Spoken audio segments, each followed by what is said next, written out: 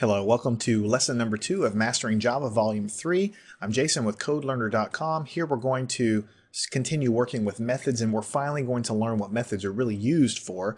You know, this is the kind of thing I want to teach in lesson number one when you very first learn Java, but you can't teach methods and how they work until you have a lot of foundation, which we've been building.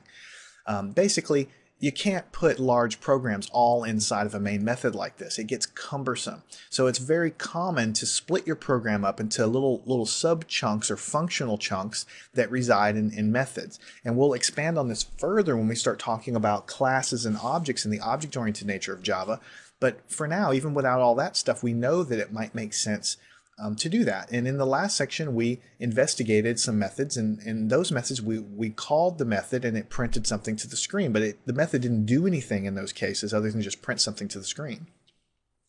So now we're going to expand on that. Methods can be thought of as a black box, right? A black box. You pass numbers or parameters into this box we call a method. The method does something, a calculation usually, or some sort of function. And in many cases, the method returns a value back to where or whoever called it. So we might have some code here and we want to do a calculation. So we create a method down here which will do that calculation, compartmentalize it, and the result will be then passed back to wherever we called from.